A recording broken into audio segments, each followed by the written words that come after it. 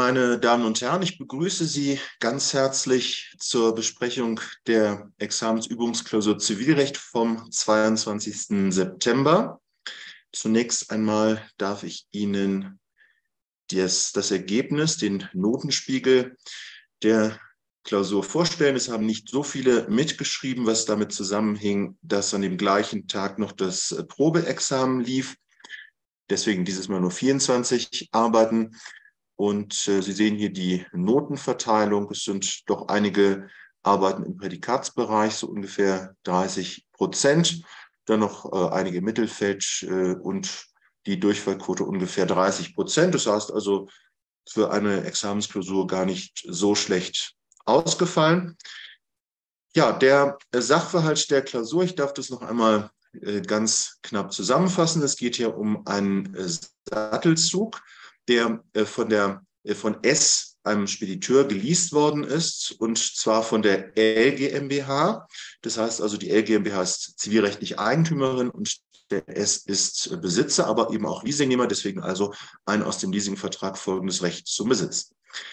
Der äh, Fahrzeugschein befindet sich im Besitz des S. Das ist die, inzwischen sagt man Zulassungsbescheinigung Teil 1. Das ist das Dokument, das die Zulassung des betreffenden Fahrzeugs zum Verkehr im öffentlichen Verkehrsraum bescheinigt. Und dieses Dokument muss vom Fahrer immer mitgeführt werden im Fahrzeug. Und auf der anderen Seite gibt es noch den Fahrzeugbrief, die Zulassungsbescheinigung Teil 2. Die dokumentiert, wer Halter des Fahrzeugs ist. Das heißt, wer das in seiner tatsächlichen Verfügungsgewalt hat. Das kann der Eigentümer sein, muss aber nicht der Eigentümer sein. In unserem Fall ist es die ähm, ist es als Leasingnehmer eingetragen, aber der Fahrzeugbrief befindet sich im Eigentum der Eigentümerin, äh, im Besitzverzeihung der Eigentümerin der L, der Leasinggesellschaft. Hier fällt das also gewissermaßen auseinander, der Besitz und das Eigentum an diesem, ähm, der, der Besitz an dem ähm, Fahrzeugbrief und ähm, die Position als Halter. Und das hängt damit zusammen, dass die Zulassungsbescheinigung Teil 2, also der Fahrzeugbrief, im Rechtsverkehr auch als ähm, Beleg für das Eigentum an, einer, an einem Fahrzeug ähm, angesehen wird. Ähm, und deswegen ähm, ist es also äh, gerade nicht erforderlich, sondern im Gegenteil ist es dringend davon abzuraten, den Fahrzeugbrief ebenfalls im Fahrzeug mitzuführen. Ähm, denn wer im Besitz des Fahrzeugbriefes ist, der gilt nach der Verkehrsanschauung als ähm, legitimiert über das Fahrzeug zu verfügen. Und äh, darauf kann unter Umständen auch der gute Glaube ähm, beim Erwerb vom Nichtberechtigten, Paragraph 932, gestützt werden. Und deswegen in ständige Rechtsprechung gilt, dass wenn man ein Fahrzeug ohne Vorlage des, ähm, der Zulassungsbescheinigung Teil 2, also des Fahrzeugbriefs, veräußert als Nichtberechtigter, dann fehlt es in der Regel am guten Glauben des Erwerbers, denn der Erwerber, dem muss das ähm, Anlass zu Nachforschung geben, wenn der Veräußerer sich eben nicht durch den Fahrzeugbrief, die Zulassungsbescheinigung Teil 2, ausweisen kann. Das also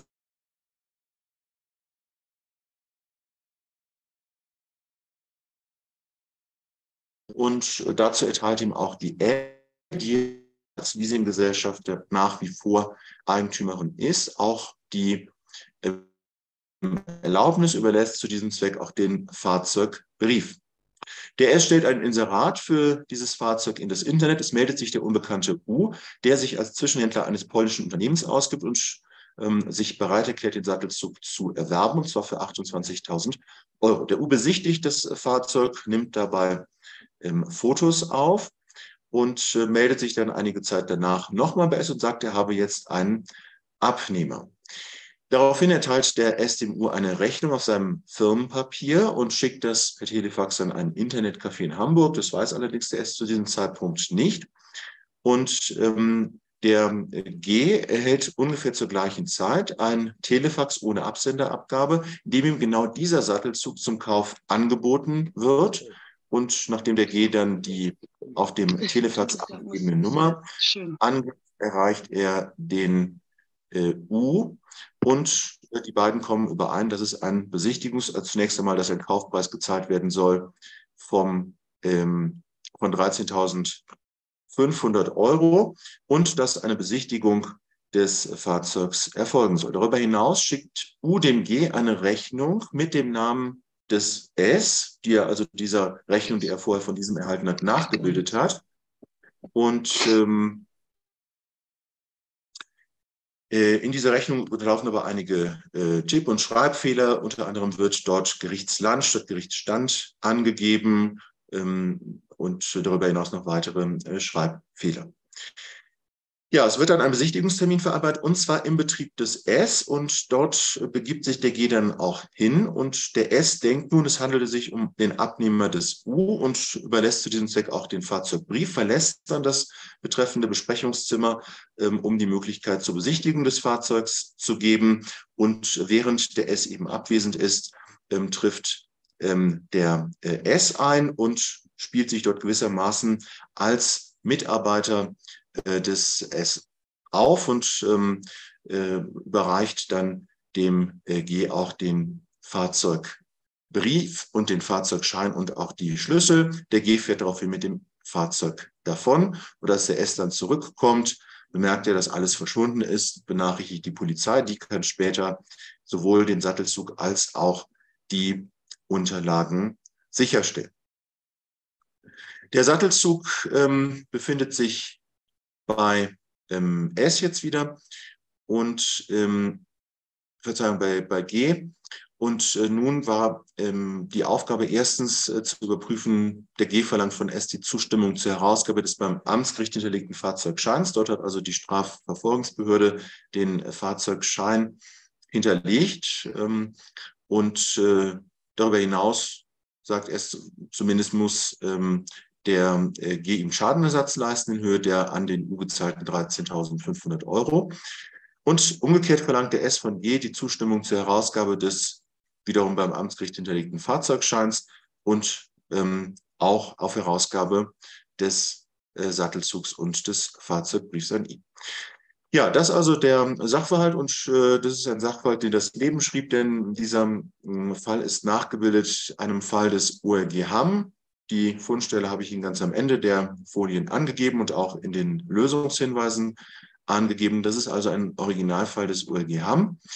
Und Sie hatten nun eben die Aufgabe, diese beiden Fragen zu beantworten. Zunächst einmal bei der Frage 1, Anspruch auf Zustimmung zur Herausgabe des Fahrzeugscheins. Da war es schon ein bisschen schwierig, die richtige Anspruchsgrundlage zu finden. Hier ging es nicht um Paragraph 985 BGB, denn hier wird ja gerade nicht die Herausgabe verlangt, sondern es wird die Zustimmung zur Herausgabe durch das Amtsgericht als Hinterlegungsstelle verlangt. Und da sagt die ständige Rechtsprechung des BGH, das muss man ähm, auch wissen, das ist also examensrelevant, ähm, die ständige Rechtsprechung des BGH sagt, im Fall, dass eine Sache zum Beispiel nach 372 BGB bei Annahmeverzug oder bei Ungewissheit über die Person des Gläubigers beim Amtsgericht hinterlegt wird, ähm, dann haben diejenigen Personen, die einen Anspruch auf die Herausgabe erheben, jeweils gegeneinander eine sogenannte Sperrposition, weil nämlich, wie wir gleich sehen werden, die Herausgabe nur mit Bewilligung, das heißt mit Zustimmung des jeweils anderen sogenannten Prätendenten, als solche bezeichnen wir Personen, die Ansprüche auf die hinterlegte Sache geltend machen,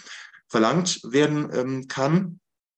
Und äh, diese Sperrposition, sagt der BGH in ständiger Rechtsprechung, ist ein etwas im Sinne des 812 und dementsprechend kann, wenn die weiteren Voraussetzungen des 812 erfüllt sind, die ähm, ja, Herausgabe der Sperrposition und das bedeutet die Zustimmung ähm, zur Herausgabe durch die Hinterlegungsstelle verlangt werden. Ja, also da auf diese Anspruchsgrundlage musste man erstmal kommen. Das sollte man mal irgendwann im Laufe des Studiums gehört haben, damit man das also für solche Konstellationen äh, weiß. Und diese Hinterlegungskonstellationen, die sind durchaus examensrelevant. Das kann Ihnen also auch in einer richtigen Examensklausur begegnen. Zunächst einmal war hier also zu prüfen, hat der S etwas erlangt, also einen Vermögenswert erlangt. Und das könnte eben die schon besagte Sperrposition hier sein.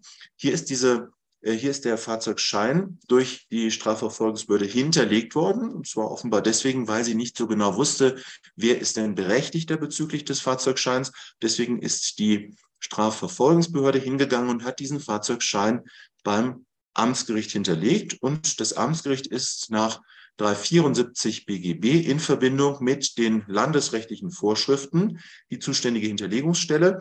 Sie finden Vorschriften über die Hinterlegung in den 372 folgende BGB. Hinterlegungsgründe sind unter anderem Gläubigerverzug oder aber die Ungewissheit über die Person des Gläubigers. Und ähm, die Hinterlegungsstelle ergibt sich dann aber nicht allein aus den 372 folgende. Dort ist nur die örtliche Zuständigkeit geregelt in 374 BGB, nämlich ähm, der Erfüllungsort ist da maßgeblich oder Leistungsort.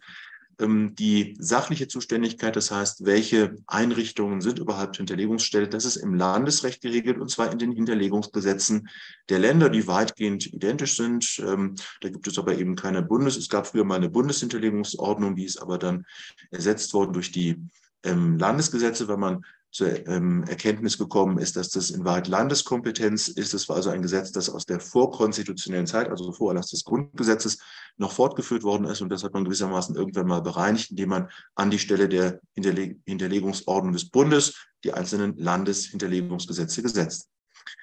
Diese Landeshinterlegungsgesetze für Schleswig-Holstein, natürlich Hinterlegungsgesetz Schleswig-Holstein, die sehen ähm, übereinstimmend vor, dass die Hinterlegungsstelle die Amtsgerichte sind und zwar dann eben in Verbindung mit 374 die Amtsgerichte am Erfüllungsort. Das wäre dann also hier das Amtsgericht Kiel. Und ähm, dann heißt es weiter, wenn eine Sache hinterlegt worden ist bei der Hinterlegungsstelle, also dem Amtsgericht, dann bedarf die Herausgabe einer Verfügung der Hinterlegungsstelle, einer sogenannten Herausgabeanordnung. Und wann wird diese Herausgabeanordnung erteilt? Das regelt der Paragraph 22 des Hinterlegungsgesetzes Schleswig-Holstein. Sie geht auf Antrag, wenn die Berechtigung der Empfängerin oder des Empfängers nachgewiesen ist. Und ähm, Absatz 3 sagt dann, der Nachweis ist namentlich als geführt anzusehen, wenn die Beteiligten die Herausgabe an die Empfängerin, den Empfänger schriftlich und so weiter bewilligt, also mit Zustimmung der anderen Person und man bezeichnet diejenigen Personen, die beteiligt sind, die also Ansprüche auf die hinterlegte Sache geltend machen, als Prätendenten. Man braucht also die Zustimmung, die Bewilligung des Prätendenten oder Alternativ Nummer zwei, ähm, dass ein Urteil mit Wirkung gegen die Beteiligten oder rechtskräftige Entscheidung mit Wirkung gegen die Beteiligten ergangen ist. Das ist bei uns hier nicht der Fall. Hier ist noch kein Urteil, dass der eine dem anderen die Herausgabe schuldet, ergangen. Das heißt, hier bedarf es der Bewilligung der anderen Seite. Und das bedeutet, ähm, jeder Prätendent kann die Herausgabe an den jeweils anderen Prätendenten durch Verweigerung der Zustimmung verhindern, hat insofern eine Sperrposition. Und der BGH sagt in ständiger Rechtsprechung, diese Sperrposition ist ein vermögenswertes Etwas im Sinne des Paragraphen 812. Und Herausgabe dieser Sperrposition bedeutet schlicht und einfach Erteilung der Zustimmung zur Herausgabe. Und diese Zustimmung wird durch ein entsprechendes Urteil ersetzt. Die Zustimmung ist ja eine Willenserklärung und Paragraph 894 ZPO sagt, hm, durch ein Urteil, das die andere Partei zur Zustimmung verurteilt, wird die Zustimmung fingiert. Das heißt also, das rechtskräftige Urteil, das die andere Partei zur Zustimmung ersetzt, ähm, das äh, verurteilt, das ersetzt die Zustimmung und kann dementsprechend der Hinterlegungsstelle dann vorgelegt werden. Das ist also die richtige Vorgehensweise, wenn wir einen Hinterlegungsfall haben, mehrere Prätendenten und der eine Prätendent von dem anderen die Zustimmung, die Bewilligung, die Zustimmung zur Herausgabe verlangt, muss er ihn nach 812 verklagen. Und das auf Zustimmung verurteilende Urteil, das bildet, das ersetzt nach 894 ZPO dann die Zustimmung. Und mit dieser Zustimmung, diesem Urteil kann also dann der klagende Prätendent zum Amtsgericht gehen und dann die Herausgabe verlangen. Genau das macht der G auch hier. Er verklagt also oder nimmt auf in Anspruch zunächst einmal den S auf Herausgabe der Sperrposition auf Zustimmung. Und ähm, insoweit hat also der S ein vermögenswertes Etwas erlangt in Gestalt der Sperrposition. Die weitere Frage ist aber, ähm, ist das durch Leistung oder aber in sonstiger Weise geschehen. Hier in unserem Fall haben wir kein Leistungsverhältnis zwischen G und S, denn der S hat ja diese Sperrposition nicht durch eine bewusste und zweckgerichtete Maßnahme des G erlangt, sondern Kraft Gesetzes, weil das Gesetz eben sagt, wenn eine Sache hinterlegt worden ist, dann besteht diese Sperrposition. Das heißt, wir haben es hier mit einer Eingriffskondition, einem Erwerb in sonstiger Weise zu tun, nicht durch Leistung und dementsprechend also keine Leistung, sondern eine Eingriffskondition und äh, dementsprechend ein Fall des äh, Satzes 2 Alternative 1 des 812 Absatz 1. Dann eine weitere Voraussetzung, es muss der Erwerb des Etwas, des vermögenswerten Etwas auf Kosten des Anspruchstellers erfolgt sein. Auf Kosten bedeutet durch Eingriff in den Zuweisungsgehalt eines fremden Rechts. Es muss also in eine fremde Rechtsposition eingegriffen werden. Und an dieser Stelle sind dann die Eigentumsverhältnisse bezüglich der betreffenden Sache oder die Berechtigung bezüglich der betreffenden Sache zu prüfen. Ja, das wäre also hier die Stelle, wo Inzident zu prüfen ist. Wer ist denn in Bezug über, auf die hinterlegte Sache überhaupt der materiell Berechtigte? Davon hängt es ab, ob wir hier einen Eingriff in die Rechtsposition des die Zustimmung verlangenden Prätendenten haben. Dementsprechend war hier die Frage aufzuwerfen, ist, hier geht es ja um den Fahrzeugschein, Zulassungsbescheinigung Teil 1. Die Frage war hier also, wer ist Eigentümer oder wer ist Berechtigter bezüglich dieser ähm, Zulassungsbescheinigung Teil 1 bezüglich des Fahrzeugscheins. Beim Fahrzeugbrief, das ist die Zulassungsbescheinigung Teil 2, um die geht es hier nicht. Da gibt es eine ständige Rechtsprechung des BGH, das auf das Eigentum, auf die Eigentumsverhältnisse am Fahrzeugbrief 952 BGB entsprechende Anwendung findet. Im Paragraph 952 BGB sagt, dass äh, derjenige, der bei einem Wertpapier oder ähm, Wertpapierinhaber der Forderung ist, auch Eigentümer des Papieres ist. Und das wendet der BGH in ständige Rechtsprechung entsprechend auf den Fahrzeugbrief an. Der Fahrzeugbrief, das hatte ich bereits erwähnt, der dokumentiert, wer verfügungsberechtigt bezüglich des Fahrzeugs ist. In der Regel der Eigentümer, nicht notwendig ähm, der Eigentümer. Und ähm, beim Leasingvertrag, da fällt es eben auseinander, wie auch in unserem Fall. Ähm, und deswegen sagt der BGH in ständige Rechtsprechung, dass ähm, das Eigentum am Fahrzeugschein der Zulassungsbescheinigung Teil 2 demjenigen zusteht nach 952 BGB analog, der auch Eigentümer des Fahrzeugs ist. Eine entsprechende Rechtsprechung für den Fahrzeugschein, um den es hier geht, gibt es nicht. Der Fahrzeugschein, der dokumentiert nicht die Verfügungsberechtigung am Fahrzeug, sondern dass das Fahrzeug zum Betrieb im öffentlichen Verkehr zugelassen ist. Das muss also ständig auch mitgeführt werden von dem Fahrer des betreffenden Fahrzeugs. Für den Fahrzeugschein gibt es eine solche Rechtsprechung nicht. Das heißt, hier stellte sich die Frage, kann man den 952 auch auf den Fahrzeugschein entsprechend anwenden. Und dafür spricht einiges, das muss man nicht zwingend bejahen, aber dafür spricht doch einiges, weil nämlich auch der Fahrzeugschein ohne das Fahrzeug im Prinzip keine Funktion, keine Bedeutung hat. Gewissermaßen hängt also auch der Fahrzeugschein an dem betreffenden Fahrzeug, muss ja auch wenn man das Fahrzeug fährt, immer mitgeführt werden nach der gesetzlichen Regelung. Das heißt also auch zum Fahrzeugschein kann man sagen, er hängt gewissermaßen an dem Fahrzeug selbst dran. Und das rechtfertigt es doch, den 952 entsprechend auf den Fahrzeugschein anzuwenden. Wenn man dieser Sichtweise folgte, dann bedeutet das, man muss jetzt, anderenfalls hätte man eben sozusagen autonom die Eigentumsverhältnisse am Fahrzeugschein prüfen müssen. Ähm, wenn man sich dagegen der Auffassung anschloss, äh, und dafür spricht, wie gesagt, einiges, dass der 952 BGB auch auf den Fahrzeugschein entsprechend anwendbar ist, dann musste man an dieser Stelle prüfen, wie sind denn die Eigentumsverhältnisse am Fahrzeug. Denn davon hing es dann eben ab, ähm, wem das Eigentum an dem Fahrzeugschein zustand. Hier waren dementsprechend Inzidenz zu prüfen, die Eigentumsverhältnisse am Fahrzeug. Und wenn man hier zum Ergebnis kam, dass der G Eigentümer des Fahrzeugs und damit nach 952 auch Eigentümer äh, des Fahrzeugscheins ist, dann wäre hier in eine Rechtsposition des G eingegriffen worden, dann hätte der S also die Sperrposition auf Kosten des G erlangt. Also an dieser Stelle zu prüfen die Eigentumsverhältnisse am Fahrzeug und das war sozusagen dann auch gleich der Schwerpunkt dieses Teils der Arbeit. Wie verhält es sich also mit dem Eigentum am Sattelzug? Wem steht das zu? Ja, die Frage ist hier, ähm, hat möglicherweise der ähm, G das Eigentum an dem Fahrzeug erworben. G war eben derjenige, der von diesem unbekannten ähm, U per Telefax angesprochen worden ist, möchtest du diesen Sattelzug erwerben? Und der G hat dann am Ende dieses Fahrzeug mitgenommen unter diesen sehr merkwürdigen Verhältnissen, aber es war eben der Originalfall des ähm, OLG Hamm so, ähm, dass es sich tatsächlich so ereignete. Ja, der G könnte das Eigentum am Sattelzug durch eine Beeignung nach 929 Satz 1, also durch eine Übergabe, Einigung und Übergabe erworben haben. Aber der hm, S selbst war ja bezüglich des ähm, Sattelzugs nicht dinglich berechtigt, denn der S war nur Leasingnehmer. Eigentümerin war weiterhin die ähm, Leasinggesellschaft. Äh, und ähm, darüber müssen wir uns dann an späterer Stelle nochmal äh, Gedanken machen. Jedenfalls, ähm, wir haben im Verhältnis zwischen G und U, der U ist ja im Verhältnis zu G aufgetreten, eine konkludente Einigung dadurch, dass ähm, der U dem G das Fahrzeug und die zugehörigen ähm, weiteren Gegenstände, insbesondere den Fahrzeugschein, Fahrzeugbrief und die Schlüssel überlassen hat. Und durch dieses sozusagen Geben und Nehmen ist eine konkludente Einigung erzielt worden, dass nunmehr der G Eigentümer des Sattelzugs sein sollte.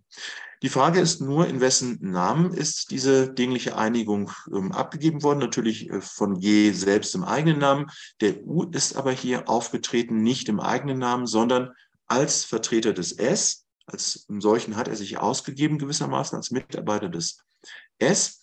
Und dementsprechend ähm, war hier die Frage, gab es eine wirksame Stellvertretung des U für den S bei dieser dinglichen Einigungserklärung. Das war also an dieser Stelle zu prüfen, hat der U in wirksamer Stellvertretung für S gehandelt. Der U hat ganz klar eine eigene Willenserklärung abgegeben und nicht etwa eine Fremde des S überbracht. Das war unproblematisch. Dann die Frage, ist das im Namen des S geschehen? Auch das ist im Ergebnis zu bejahen, denn der U ist eben gerade nicht als ähm, im eigenen Namen aufgetreten, sondern er hat sich als Angestellter des S ausgegeben und damit deutlich gemacht, dass er hier für S handle. Das heißt also, wir haben ein Handeln des U im Namen des S in fremdem Namen. Die entscheidende Frage war nun, hat der U mit Vertretungsmacht gehandelt?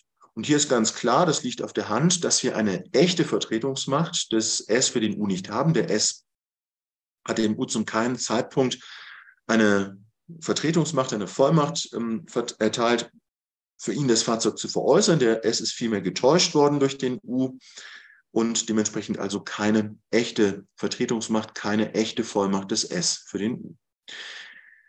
Die Frage war nun, haben wir eine Vertretungsmacht Kraft Rechtsscheins? Und da kamen verschiedene Ansatzpunkte in Betracht, die im Idealfall dann auch alle äh, zumindest äh, angeprüft worden sein sollten.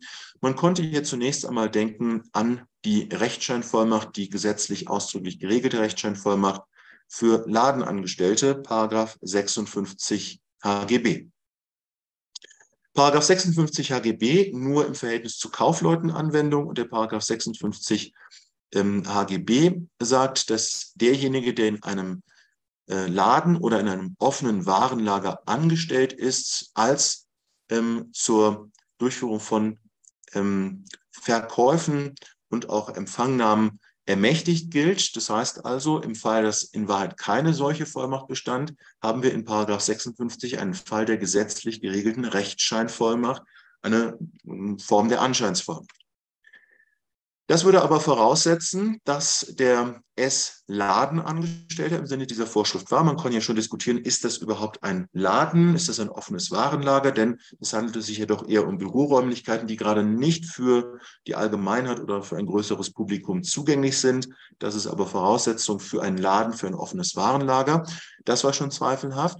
Jedenfalls ähm, eine weitere Voraussetzung des 56 HGB ist, angestellt ist nur eine Person, die mit Wissen und Willen des Ladeninhabers tätig wird. Und das ist hier in unserem Fall gerade nicht ähm, gegeben. Der ähm, S wusste eben nicht, dass der U hier für ihn auftritt als sein Vertreter.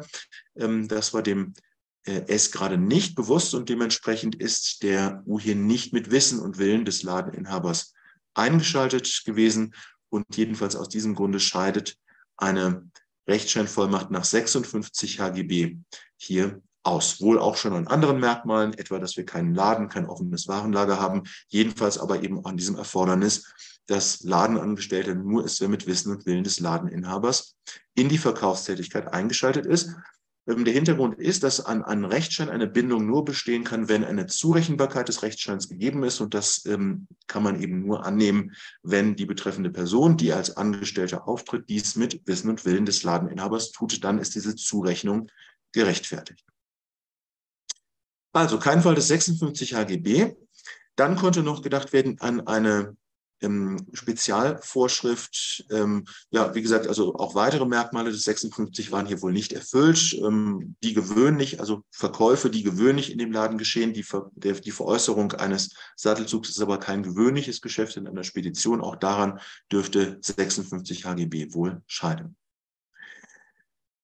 Dann als weitere mögliche Rechtsgrundlage für, den, ähm, für eine Vertretungsmacht Kraft Anscheins Paragraph 366 Absatz 1 HGB, der eine Erweiterung der Gutglaubensvorschriften des BGB wiederum für den kaufmännischen Verkehr anordnet. Paragraph 366 HGB ähm, sagt, veräußert oder verpfändet ein Kaufmann im Betriebe seines Handelsgewerbes ja, der als Spediteur, der wäre durchaus Kaufmann, eine ihm nicht gehörige bewegliche Sache, so finden die Vorschriften des BGB zugunsten derjenigen, welche Rechte von einem Nichtberechtigten herleiten. Bei beweglichen Sachen sind das die 932 folgende BGB. Auch dann Anwendung, wenn der gute Glaube des Erwerbers die Befugnis des Veräußerers oder Verpfänders über die Sache für den Eigentümer zu verfügen betrifft. Hier wird also der Gutglaubensschutz, der ja den gut unmittelbar nach 932 folgenden nur den guten Glauben an die Eigentümerstellung schützt, erweitert auf den guten Glauben an die Verfügungsberechtigung. Der Eigentümer kann eine andere Person, die nicht Eigentümer ist, ähm, ermächtigen, für ihn mit Wirkung führen, gegen ihn über die Sache zu verfügen, 185 BGB. Und äh, das BGB schützt den guten Glauben an eine solche bloße Verfügungsberechtigung nicht. Wohl aber das HGB 366 Absatz 1 HGB ordnet eine Erweiterung des Gutglaubensschutzes der 932 folgende BGB auch auf die Konstellation ähm, an, dass nicht ähm, an das Eigentum ähm, geglaubt wird, sondern an eine Verfügungsberechtigung des Veräußerers.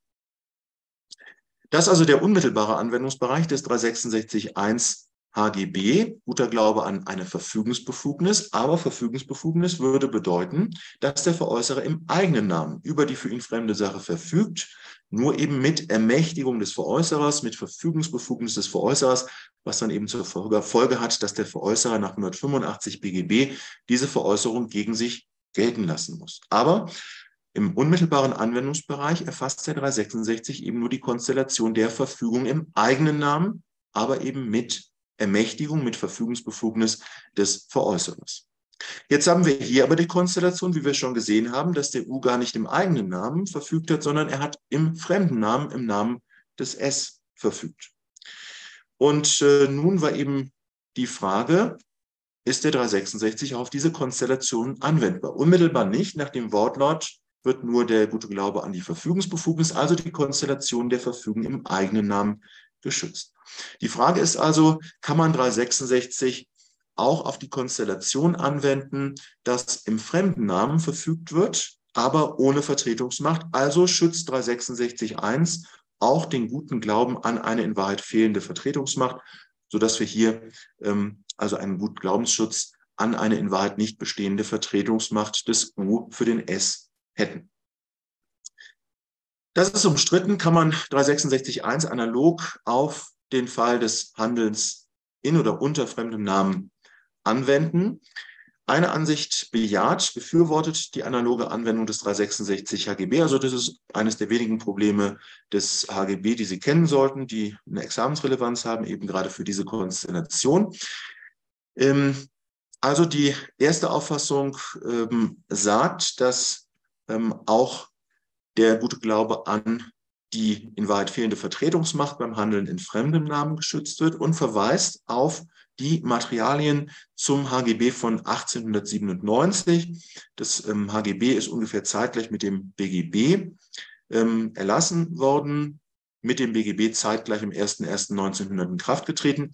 Und in der sogenannten Denkschrift zum HGB-Entwurf, ähm, da steht zur Begründung des 366 tatsächlich etwas, woraus man durchaus herleiten kann, dass der historische Gesetzgeber beide Konstellationen im Prinzip gleich behandeln wollte. Zum einen eben das Handeln im eigenen Namen mit Verfügungsbefugnis, zum anderen aber auch das Handeln in fremdem Namen. Allerdings muss man dem entgegenhalten, dass ähm, das im Wortlaut des Gesetzes keinen Niederschlag gefunden hat. Ähm, wenn man aber unter dieser Auffassung subsumiert, dann müsste man eben die Frage stellen, war denn der G überhaupt bezüglich der Vertretungsmacht des U äh, gutgläubig oder aber war er bösgläubig? Für die Gutbösgläubigkeit kommt es auf den Maßstab des 932 Absatz 2 an. Das heißt, es schadet die Kenntnis, aber eben auch die grob fahrlässige Unkenntnis der in Wahrheit fehlenden Vertretungsmacht. Die Frage war nun, war der MG in diesem Sinne bösgläubig hinsichtlich der Vertretungsmacht des U. Man, äh, gegen eine Bösgläubigkeit konnte man anführen, dass der U ja immerhin auf dem Betriebsgelände und in den Räumen des S tätig wurde. Das heißt also, der S hat ihm ermöglicht, ähm, in seinen betrieblichen Räumlichkeiten tätig zu werden. Und das ist dann doch ein recht starkes Indiz dafür, dass der ähm, U auch Vertretungsmacht für den S hat. Auf der anderen Seite gab es eine ganze Menge von Anhaltspunkten, die zu Zweifeln an der Vertretungsbefugnis überhaupt der Befugnis des U führen mussten, etwa dieses äh, Telefax, das Schreibfehler Fehler aufwies, dann auch der auffallend niedrige Kaufpreis, der deutlich unter dem Marktwert war und der G als Geschäftsmann musste dies auch erkennen, dass das ein Preis deutlich unter dem Marktwert war. Das alles musste doch gewisse Zweifel begründen und deswegen spricht doch einiges dafür, dass wir hier auf Seiten des G grobe Fahrlässigkeit haben. Wir haben doch insgesamt so starke Anhaltspunkte dafür, dass etwas nicht stimmen konnte, dass der G hier Nachforschungen hätte anstellen müssen. Und mit dieser Argumentation konnte man hier eine grobe Fahrlässigkeit annehmen, sodass man auch dann, wenn man dieser ersten Auffassung folgte und sagt, 366 gilt entsprechend für ähm, den Fall des Handels in fremdem Namen, dass man dann im Ergebnis den 366 verneint.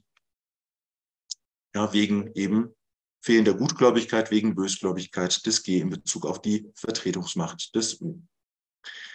Die Gegenansicht will den 366.1 HGB von vornherein nicht analog auf die Konstellation des Handels in fremdem Namen anwenden, Dafür lässt sich anführen, dass tatsächlich, wenn es einen Willen des historischen Gesetzgebers gegeben hat, beide Konstellationen gleich zu behandeln, ist das eben nicht im äh, Wortlaut des Gesetzes ähm, nieder, hat sich nicht im Wortlaut des Gesetzes niedergeschlagen.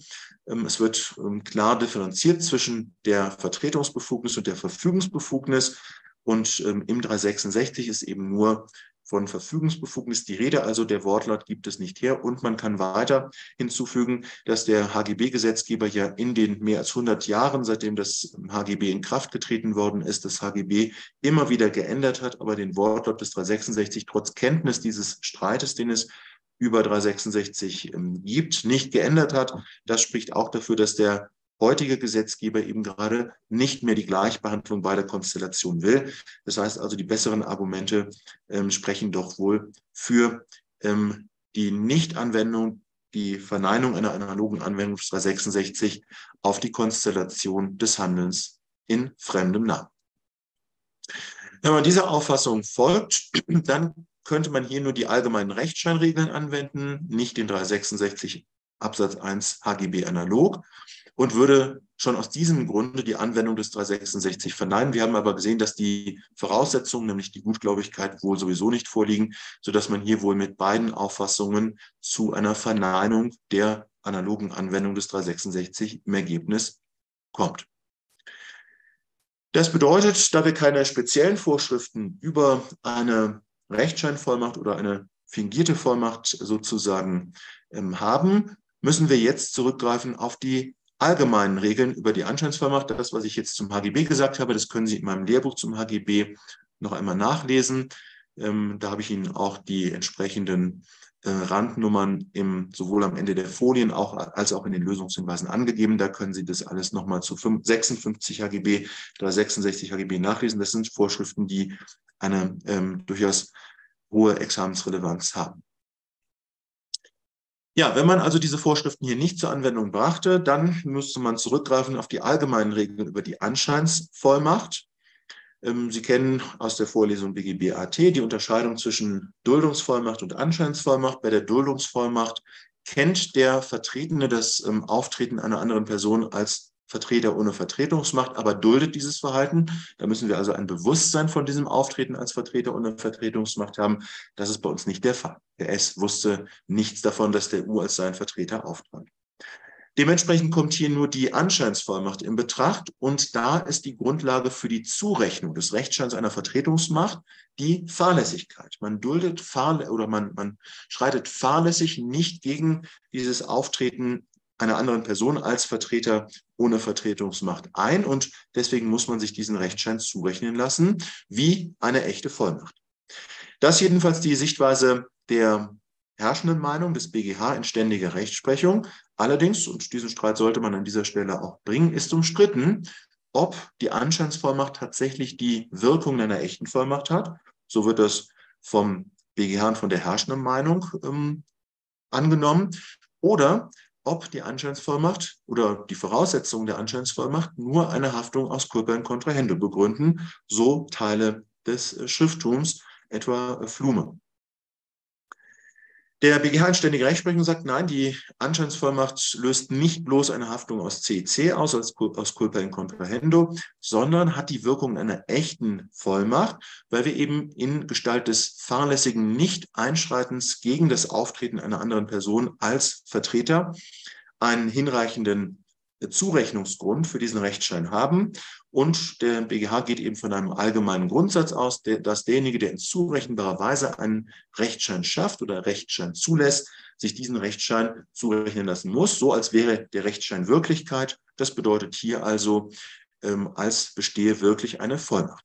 Insoweit wird auch verwiesen auf die 170 äh, folgende, das heißt die gesetzlichen Vorschriften über Fälle einer Rechtsscheinvollmacht. Und da haben wir auch die Regelung des 173, ähm, aus der sich ergibt, dass tatsächlich die fahrlässige Zulassung eines solchen Rechtsscheins ähm, ausreichend ähm, ist. Und darauf stützt der BGH eben in ständiger Rechtsprechung diese Sichtweise, dass die Anscheinsvollmacht die Wirkung einer echten Vollmacht hat. Im Schrifttum wird es teilweise bestritten, teilweise nur für den Nichthandelsverkehr bestritten, teilweise allgemein bestritten äh, und gesagt, nein, ähm, die bloße fahrlässige Zulassung eines Rechtsscheins kann nicht zu einer Haftung aus Culpa Contrahendo führen, äh, nicht zu einer Haftung für den Rechtsschein führen, nicht zu einer Zurechnung des Rechtsscheins führen, sondern nur zu einer Haftung aus Culpa Contrahendo. Wenn man hier der herrschenden Auffassung folgte, dann stellte sich eben die Frage, lagen die Voraussetzungen für eine Anscheinsvollmacht vor? Und das würde dazu führen, dass der S sich das Verhalten des U als sein Vertreter zurechnen lassen muss, dass er sich so behandeln lassen muss, als habe er eine Vollmacht erteilt. Und das bedeutet, dass die Übereignungserklärung, die U für den S im Namen des S abgegeben hat, für und gegen S wirken würde. Das wäre die Konsequenz, hier die Voraussetzungen Anscheinsvollmacht bejahen und der herrschende Macht hat. Voraussetzung aber für die Anscheinsvollmacht grundsätzlich eine gewisse Häufigkeit und Dauer des Auftretens als Vertreter des anderen. Das heißt also, das erst- und einmalige Auftreten als Vertreter eines anderen, das löst im Grundsatz noch nicht eine Anscheinsvollmacht aus, reicht also nicht für die Zurechnung des Rechtsscheins. Man kann also von einem fahrlässigen Nichtverhindern des Auftretens als Vertreter nur und erst dann sprechen, wenn der Vertreter schon mehrfach als Vertreter des anderen aufgetreten ist. Das war hier nicht der Fall, sondern der U ist erst und einmalig aufgetreten. Man konnte jetzt aber sich überlegen, ob möglicherweise durch die anderen Umstände, insbesondere dadurch, dass der U den Fahrzeugbrief vorgelegt hat, ein qualifizierter Rechtsschein vorlag, der schon beim erst- und einmaligen Setzen die Zurechnung gestattet. Das konnte man hier durchaus erwägen. Ja, wir haben also den Fahrzeugbrief. Der S war ja so leichtsinnig, dem U den Fahrzeugbrief auszuhändigen. Und ich hatte bereits gesagt, dieser Fahrzeugbrief, die Zulassungsbescheinigung Teil 2, das wird im Rechtsverkehr allgemein als Legitimationsgrundlage angesehen, der ähm, die Inhaberschaft am Fahrzeugbrief legitimiert in den Augen des Rechtsverkehrs den Inhaber als Berechtigten bezüglich des Fahrzeugs und insofern haben wir in Gestalt des Fahrzeugbriefs, der Inhaberschaft am Fahrzeugbrief, einen qualifizierten Rechtsschein, der eben auch dafür sprechen könnte, dass wir eine Vertretungsmacht des U haben. Ja, das war also aus meiner Sicht durchaus vertretbar, dass man äh, sozusagen ähm, in Analogie zu 172 BGB, wonach ähm, eine Vollmachtsurkunde ja auch als Vertreter berechtigt, selbst wenn die Vollmacht in Wahrheit nicht mehr besteht. Und hier haben wir eben keine Vollmachtsurkunde, aber wir haben ebenfalls einen eine, äh, qualifiz einen qualifizierten Legitimationsausweis, nämlich den Fahrzeugbrief. Und ähm, in einer Art Analogie zu 172 konnte man also hier von einem qualifizierten Rechtsschein durchaus ausgehen. Aber, und ähm, auch da kann man sich wieder aus 172 BGB orientieren, bei 172 BGB begründet diesen Rechtsschein nur eine bewusst und willentlich ausgehändigte Vollmachtsurkunde. Das heißt also, eine Zurechnung haben wir auch bei 172 nur, wenn diese Vollmachtsurkunde von dem vermeintlichen Vollmachtgeber bewusst und willentlich an den Vertreter ohne Vertretungsmacht ausgehändigt worden ist. Und ich meine, dass auch ein solcher qualifizierter Rechtsschein, wenn man ihn auf die Vorlage des Fahrzeugsbriefs stützen möchte, voraussetzt, dass eine willentliche Aushändigung des Fahrzeugbriefs stattgefunden hat. Und das war bei uns hier ähm, nicht der Fall, sondern die, ähm, der Fahrzeugbrief ist ja nur auf dem Tisch liegen gelassen worden. Ähm, das heißt also möglicherweise fahrlässig hat man die äh, Inbesitznahme dieser äh, Urkunde ermöglicht, aber eben nicht durch bewusstes und willentliches Aushändigen.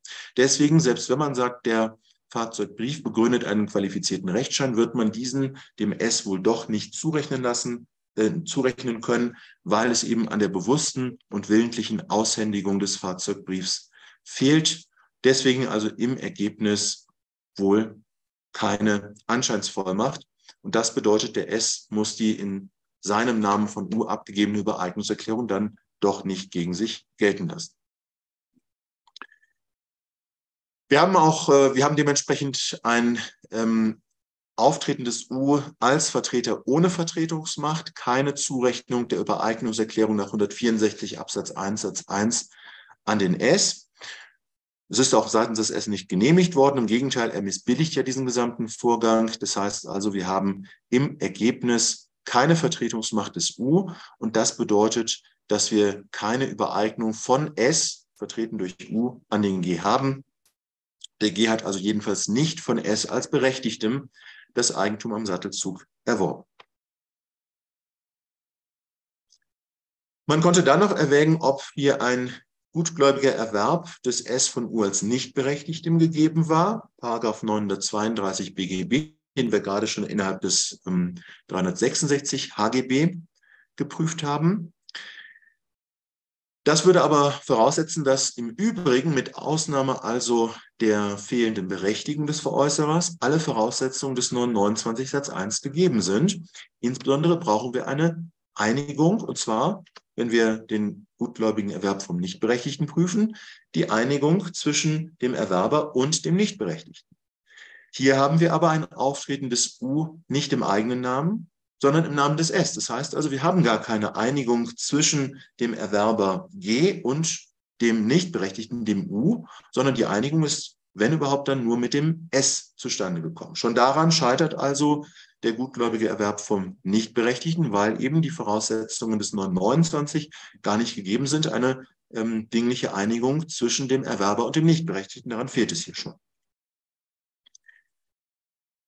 Dementsprechend können wir auch nicht äh, über 366 HGB hier zum äh, gutgläubigen Erwerb äh, kommen unter dem Gesichtspunkt einer Verfügungsbefugnis, weil wir eben gerade kein Auftreten des U in eigenen Namen, sondern in fremdem Namen haben. Auch ein Fall des 366 somit nicht gegeben. Dementsprechend ähm, scheidet von vornherein dieser gutgläubige Erwerb vom Nichtberechtigten aus weil eben schon die allgemeinen Voraussetzungen des 929 nicht gegeben sind, beziehungsweise dann eben des 366, dass kein ähm, Handeln, keine Veräußerung im eigenen Namen erfolgt ist. Und dementsprechend kann man hier im Ergebnis feststellen, der G hat kein Eigentum am Sattelzug erworben. Und das bedeutet dementsprechend auch nicht analog 952 BGB Eigentum des Fahrzeugscheins. Wenn der G aber nicht Eigentümer des Fahrzeugscheins ist, dann kann mit der äh, Sperrposition des S auch nicht in eine Rechtsposition des G eingriffen worden sein. Dementsprechend haben wir also keinen Erwerb der Rechtsposition auf Kosten des G. Auch kein äh, obligatorisches Besitzrecht des ähm, G bezüglich des ähm, Fahrzeugscheins, weil es eben auch an einem wirksamen Kaufvertrag über den Sattelzug äh, fehlt. Da kann man auf das verweisen, was wir gerade zur dinglichen Einigung gesagt haben. Auch der Kaufvertrag wirkt nicht unmittelbar für und gegen den ähm, S, weil es eben an einer Vollmacht des U für den S auch hinsichtlich des Verpflichtungsgeschäfts des Kaufvertrags fehlt. Dementsprechend also im Ergebnis kein Eingriff in irgendeine Rechtsposition des G. Der G hat also, der, der S hat also die Sperrposition nicht auf Kosten des G erworben und daran scheitert der Anspruch aus 812 Absatz 1 Satz 1 Alternative 2 BGB. Also kein Anspruch auf Herausgabe der Sperrposition, auf Zustimmung zur Herausgabe durch das äh, Amtsgericht als Hinterlegungsstelle. Möglicherweise aber zumindest ein Anspruch auf Schadensersatz. Das wird ja gewissermaßen hilfsweise geltend gemacht. Hier könnte man ähm, an einen Schadenersatzanspruch des G gegen den S unter dem Gesichtspunkt der Culpa in Contrahendo denken, weil möglicherweise der S schuldhaft dieses Auftreten des U als sein Vertreter zugelassen hat. Und das könnte eine Schadenersatzhaftung unter dem Gesichtspunkt der Culpa in Contrahendo auslösen. Das würde voraussetzen, dass zunächst einmal zwischen G und S ein vorvertragliches Schuldverhältnis im Sinne des Paragraphen 311 Absatz 2 begründet worden ist. Und hier könnte man denken an die Aufnahme von Vertragsverhandlungen zwischen G und S. Aus der Sicht des G war ja der S sein Vertragspartner.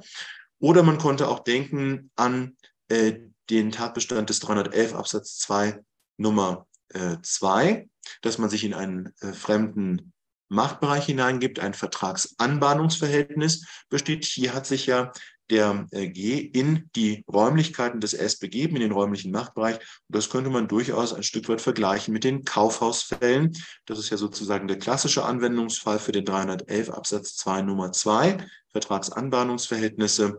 Ähm, aber man konnte auch denken an die Nummer 1, die Aufnahme von Vertragsverhandlungen. Beide Tatbestände des 311 und auch der dritte Tatbestand, die Nummer 3, ähnliche geschäftliche Kontakte, setzen aber ein einvernehmliches ähm, Verhalten beider Beteiligter voraus. Das heißt also, auch diese vorvertraglichen Schuldverhältnisse im Sinne des 311 Absatz 2 können nicht einseitig durch das Verhalten nur einer Person, das wäre hier der G, begründet werden, sondern es bedarf eines einvernehmlichen Zusammenwirkens beider Personen. 311 Absatz 2 kodifiziert letztlich nur besondere Fälle eines rechtsgeschäftlichen Schuldverhältnisses. Und Rechtsgeschäft bedeutet, wir brauchen ein Einvernehmen beider Beteiligter. Das heißt also, dieses Schuldverhältnis muss zurückführbar sein auf den Willen der Beteiligten. Und für 311 ist für alle Tatbestände anerkannt, dass nur ein einvernehmliches Zusammenwirken beider Beteiligter oder aller Beteiligten ein solches vorvertragliches Schuldverhältnis begründen kann. Es muss also vom Willen beider Beteiligter gedeckt sein. Ohne Zweifel war dieses Hineinbegeben in die Räumlichkeiten des S, gewissermaßen auch die Aufnahme von vermeintlichen Vertragsverhandlungen mit S, vom Willen des G gedeckt. Nur auf Seiten des S, da muss man doch erhebliche Zweifel haben, war das Ganze auch vom Willen des S gedeckt. Der S wollte niemals in Vertragsverhandlungen mit G treten, das ist völlig klar. Das heißt also, für Nummer eins ähm, würde es hier an einer, ja, äh, an einem entsprechenden Willen des S fehlen. Man konnte allenfalls noch an die Nummer zwei denken. Ähm, es war also durchaus vertretbar unter Verweis eben auf die fehlende ähm, Deckung durch den Willen des S, hier ein vorvertragliches Schuldverhältnis abzulehnen. Damit wäre die Prüfung dann schon am Anfang zu Ende. Das wäre ähm, durchaus vertretbar. Die andere hm, Möglichkeit wäre eben, dass man abstellt ähm, auf diese ja sozusagen Vergleichbarkeit mit den Kaufhausfällen. Der S war ja durchaus generell damit einverstanden, dass sich Personen, die mit ihm in geschäftliche Beziehungen treten wollten, etwa den Sattelzug erwerben wollten, sich in seine Räumlichkeiten begaben. Das heißt, ein solches generelles Einverständnis des S, seine Räumlichkeiten zu betreten, haben wir schon, das kann man durchaus hier annehmen, ja, in sozusagen Parallele zu den Kaufhausfällen, wo wir ja auch jetzt nicht ein spezifisches, auf eine ganz bestimmte Person individualisiertes Einverständnis des Kaufhausinhabers haben, sondern der Kaufhausinhaber ist nur allgemein damit einverstanden, dass Personen, die mit ihm in geschäftliche Beziehungen treten wollen, in seine Räumlichkeiten ähm, eintreten. Und ganz ähnlich könnte man das hier sehen, und zwar durchaus mit dieser Argumentation vertretbar, dass wir doch ein generelles Einverständnis des S haben, damit doch eine Einvernehmlichkeit der Begründung dieses Vertragsanbahnungsverhältnisses. Wenn man das so sah, und das war gut vertretbar, dann haben, hätten wir hier ein vorvertragliches Schuldverhältnis. Dann wäre die nächste Frage, haben wir hier eine Verletzung von Rücksichtnahmepflichten im Sinne des 241 Absatz 2? Und man wird wohl sagen müssen, dass, wenn man ein solches Vertragsanbahnungsverhältnis hat, anderen Personen also das Betreten seiner Geschäftsräumlichkeiten ermöglicht, gestattet, dann muss man dafür sorgen, dass zum Beispiel dort keine Gefahrenquellen, etwa in Gestalt von irgendwelchen Stolpersteinen oder ähm, sonstigen Gefahrenquellen, ähm, nicht isolierten Elektrokabeln und Ähnlichem vorhanden sind, aber auch, dass dort nicht Personen herumlaufen in diesen Räumlichkeiten, die sich als Angestellte, als Vertreter des Inhabers der Räumlichkeiten ausgeben und damit Personen zu einem Vertragsschluss verleiten. Das wird man durchaus als eine solche Rücksichtnahmepflicht ansehen können, wenn man schon die betrieblichen Räumlichkeiten zum Zutritt zumindest für bestimmte Personen eröffnet, dann muss man dafür Sorge tragen, als Rücksichtnahmepflicht im Sinne des 241.2, dass sich dort nicht Personen aufhalten, die sich dann als Angestellte, als Vertreter ohne Vertretungsmacht aufspielen. Dagegen hat der S verstoßen und man wird hier auch eine Fahrlässigkeit des S annehmen müssen, dass er den U da, den er gar nicht kannte, völlig allein in seinen Räumlichkeiten sitzen und schalten und walten lässt. Das wird man schon als möglicherweise sogar grob fahrlässig ansehen können. Das heißt also, wir haben eine schuldhafte Verletzung einer solchen Rücksichtnahmepflicht und damit ja, den haftungsbegründenden Tatbestand der Culpa in Contrahendo erfüllt. Dann würde sich auf der Rechtsfolgenseite die Frage stellen, ähm, was ist der Schaden, der hier durch diese Pflichtverletzung des S entstanden ist. Infolge dieser Pflichtverletzung des S konnte der U hier ähm, völlig frei sich als Angestellter, als Vertreter ausgeben, hat dadurch den GD zu, zu dem Vertragsschluss und vor allen Dingen eben zur Zahlung der 13.500 Euro veranlasst. Das heißt also, der Verlust der 13.500 Euro, die also jetzt mit dem U verschwunden sind, das ist etwas, was adäquat kausal auf diese Pflichtverletzung des S zurückzuführen ist, ein adäquat kausaler Schaden. Und diesen Betrag könnte nun der G von S ersetzt verlangen. Allerdings hat sich ja auch der G hier nicht äh, unbedingt ganz geschickt angestellt, sondern auch der G ähm, hat sich hier ein bisschen ungeschickt verhalten. Zum Beispiel hätte er ja durchaus Zweifel an der Vertretungsmacht des U haben können. Die Begleitumstände waren ja schon etwas merkwürdig. Nochmals auffallend niedriger Kaufpreis, dann eben auch diese erheblichen äh, Schreibfehler auf der Rechnung, die der U dem G geschickt hat. All das hätte durchaus den G veranlassen müssen, Zweifel an der Vertretungsmacht des U für den S zu haben und diesen Zweifeln nachzugehen. Das heißt also, man kann hier durchaus davon ausgehen, dass wir auf Seiten des G Fahrlässigkeit in Bezug auf die in Wahrheit fehlende Vertretungsmacht des ähm, U haben. Für die Konstellation des Vertreters ohne Vertretungsmacht, dass man also den Vertreter ohne Vertretungsmacht, den Falsus Prokurator in Anspruch nimmt, sagt 179 Absatz 3 HGB, ähm, dass eine Haftung des Vertreters ohne Vertretungsmacht ausgeschlossen ist, wenn wir in Bezug auf die fehlende Vertretungsmacht auf Seiten des ähm, anderen Teils zumindest Fahrlässigkeit haben. 179 Absatz 3 sagt, der Vertreter haftet nicht, wenn der andere Teil den Mangel der Vertretungsmacht kannte oder kennen musste, also fahrlässig nicht kannte. Hier haben wir ein jedenfalls fahrlässiges Nicht-Kennen auf Seiten des G bezüglich der fehlenden Vertretungsmacht des U. Und äh, nur, wir haben hier nicht einen unmittelbaren Anwendungsfall des 179.3. Der gilt nur, wenn wir eine Inanspruchnahme des Vertreters ohne Vertretungsmacht haben. Das wäre hier der U, der ist aber über alle Berge nicht auffindbar. Und die Frage ist nun, kann man diesen 179.3, diesen Rechtsgedanken auch heranziehen, wenn der Vertreter, äh, Verzeihung, der Vertretene in Anspruch genommen wird unter dem Gesichtspunkt der Culpa in Contrahendo, weil er eben das Auftreten des Vertreters ohne Vertretungsmacht zugelassen hat. Das wird äh, von ähm, Teilen des ähm, Schrifttums durchaus bejaht. Ähm, Teile des Schrifttums bejahen eine entsprechende Anwendung des 179 3 Satz 1 BGB auch auf die Konstellation, dass eben nicht der Vertreter ohne Vertretungsmacht, sondern der Vertretene, der Scheinvertretene sozusagen in Anspruch genommen wird unter dem Gesichtspunkt der Culpa in Contrahendo. Allerdings würde das eine planwidrige Regelungslücke voraussetzen oder überhaupt eine Regelungslücke. Und da meine ich, dass eine solche nicht besteht, denn wir können auch im Rahmen der CEC ja ein etwaiges fahrlässiges Verhalten des Anspruchstellers über 254 BGB über das Mitverschulden berücksichtigen. Das heißt also, weil wir diese Vorschrift des 254 über Mitverschulden haben, besteht meines Erachtens keine Regelungslücke, scheidet also die entsprechende Anwendung des 179.3 ähm, aus. Dementsprechend also war es aus meiner Sicht hier zwar vertretbar, den 179.3 analog anzuwenden. Ich meine aber, dass die besseren Gründe gegen eine Regelungslücke, gegen die Analogie zu 179.3 sprechen und dementsprechend man nach den allgemeinen Regeln schauen muss, wie geht man mit dem ähm, fahrlässigen Verhalten auch des G, des Anspruchstellers, um. Und da kommt eben zur Anwendung der 254 BGB die Kürzung des Schadensersatzanspruchs wegen Mitverschuldens des Geschädigten. Der G selbst hat sich hier auch ungeschickt angestellt, unbeholfen angestellt. Ihm fällt Fahrlässigkeit zur Last und dementsprechend wird er sich seinen Schadenersatzanspruch im Umfang seines Mitverschuldens kürzen lassen müssen. Und bezüglich des Umfangs des Mitverschuldens, da konnte man nun ähm, verschiedene Ansichten vertreten. Man konnte sagen, das Mitverschulden des G, weil das Ganze doch so auffällig, so ungewöhnlich war, war so groß, dass das Verschulden des S dahinter völlig zurücktritt. Das erscheint mir aber doch zu weitgehend. Ich würde sagen, dass man im Ergebnis hier zu einer Aufteilung des äh, Schadenersatzanspruchs äh, kommen muss. Wir haben also sicherlich ein mitverschuldendes G. Wir haben aber auch ein nicht unerhebliches verschuldendes S, der den Fahrzeugbrief da ähm, unbeaufsichtigt hat herumliegen lassen. Ähm, das heißt also, man konnte hier zu einer Teilung des äh, Schadens 50 zu 50 kommen. Und das musste man aber jetzt, oder da war, sagen wir mal, äh, doch mehr oder weniger alles vertretbar. Den 254, den sollte man aber dann schon gesehen haben. So, das also zur Frage 1. Haben Sie dazu noch Fragen?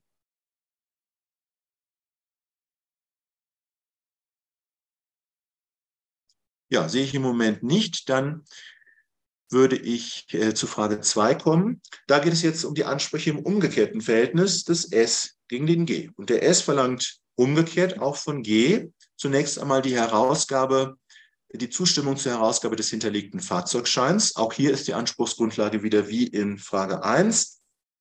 Die Eingriffskondition, Paragraph 812 Absatz 1 Satz 1 Alternative 2 BGB auch der G hat in Gestalt der Sperrposition, die ja allen Prätendenten in diesen Hinterlegungsfällen zusteht, etwas erlangt, ja, einen Vermögenswert erlangt. Da konnte man nach oben verweisen.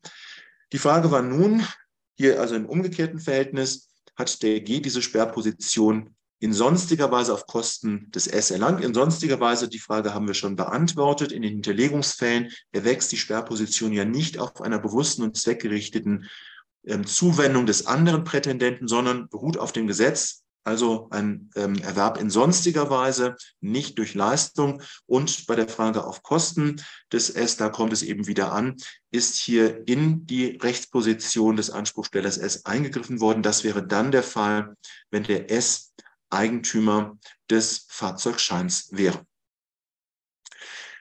Hier muss man berücksichtigen, dass ähm, der S ja Leasingnehmer ist, dementsprechend nicht Eigentümer des Fahrzeugs. Eigentümer des Fahrzeugs war weiterhin die Leasinggeberin L und dementsprechend war die Leasinggeberin L auch nach 952 BGB analog Eigentümerin des Fahrzeugscheins und auch erst recht des Fahrzeugbriefs.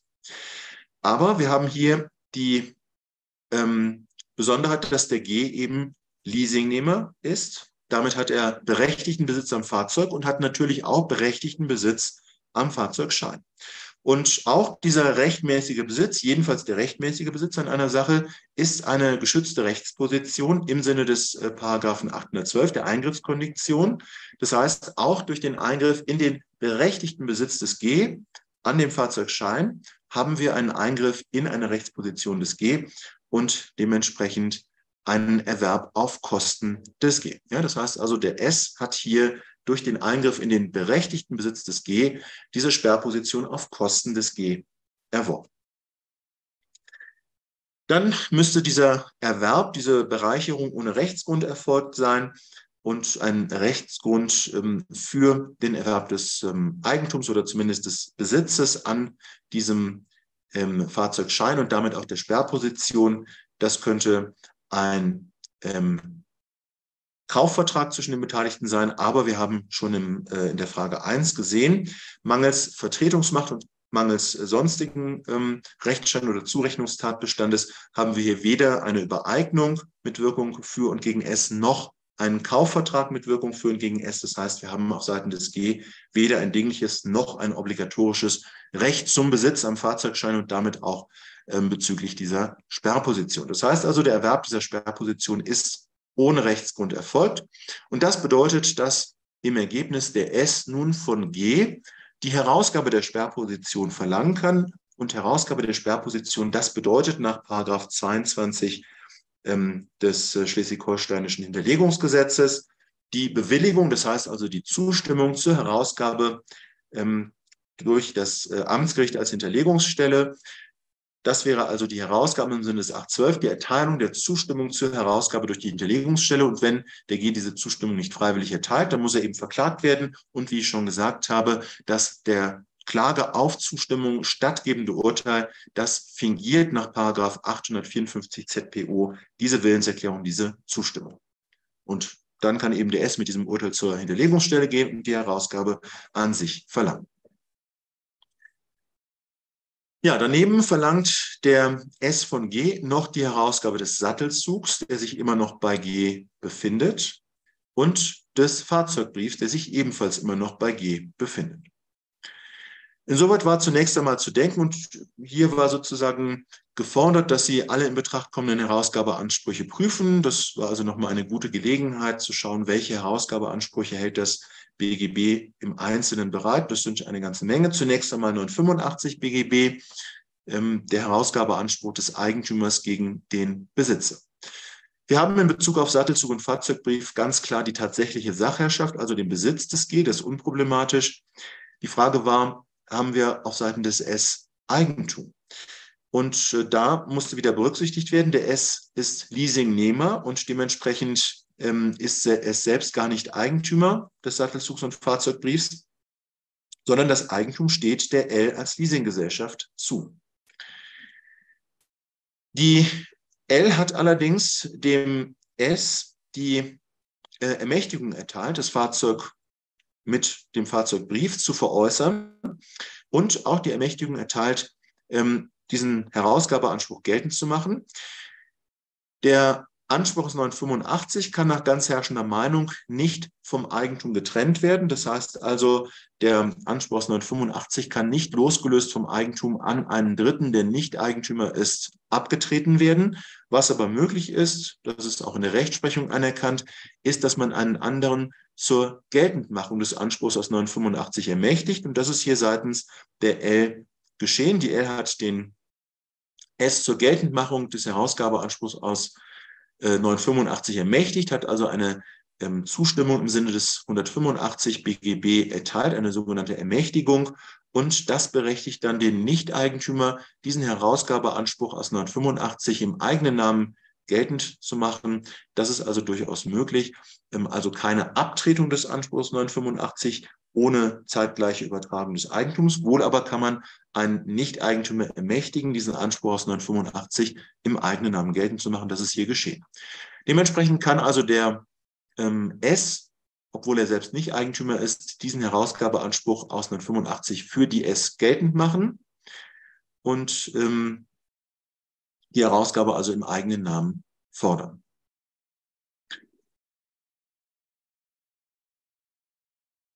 So, dementsprechend haben wir einen Besitz auf Seiten des G. Wir haben ja, eine Ermächtigung auf Seiten des Anspruchstellers S für die Eigentümerin L, diesen Anspruch geltend zu machen im eigenen Namen. Und es dürfte jetzt kein Recht zum Besitz auf Seiten des G bestehen. Ein solches Recht zum Besitz könnte aus ähm, dinglichen Rechtspositionen folgen, dem Erwerb des Eigentums. Wir haben aber gesehen, der G hat gerade kein Eigentum am Sattelzug und auch nicht am Fahrzeugbrief erworben. Und ein obligatorisches Besitzrecht könnte aus einem Kaufvertrag über den Sattelzug folgen, aber auch da haben wir schon in Frage 1 gesehen, dass wir ja keine äh, Zurechnung der auf den Kaufvertrag gerichteten Willenserklärung des U an den S haben, dementsprechend also auch kein Kaufvertrag im Verhältnis zwischen S und G, auch kein obligatorisches Recht zum Besitz. Also im Ergebnis kein Recht des G zum Besitz am Sattelzug und am Fahrzeugbrief, Zulassungsbescheinigung Teil 2 und dementsprechend kann S von G nach 985 BGB die Herausgabe sowohl des Sattelzugs als auch des Fahrzeugbriefs der Zulassungsbescheinigung Teil 2 verlangen. Ja, daneben gab es aber auch noch eine ganze Reihe von weiteren Herausgabeansprüchen, die im Idealfall ebenfalls äh, gesehen und äh, geprüft werden sollten. Da gab es zunächst einmal den sogenannten äh, petitorischen Besitzschutzanspruch aus Paragraph 1007 BGB. Und bei 1007 BGB, da müssen Sie auch noch darauf achten, dass wir da keine einheitliche Anspruchsgrundlage haben, sondern in Paragraph 1007 finden Sie mehrere verschiedene Anspruchsgrundlagen, die dann auch getrennt zu prüfen sind. Wir haben zunächst einmal in Paragraph 1007 äh, den Absatz 1. Bei Paragraph 1007 äh, da kommt es auf das bessere Recht zum Besitz an. Paragraph 1007 regelt verschiedene Konstellationen, in denen ein früherer Besitzer gegen den jetzigen Besitzer ähm, Herausgabeansprüche hat. Und in diesen Konstellationen geht man davon aus, dass das Besitzrecht des früheren Besitzers besser ist als dasjenige des aktuellen Besitzers.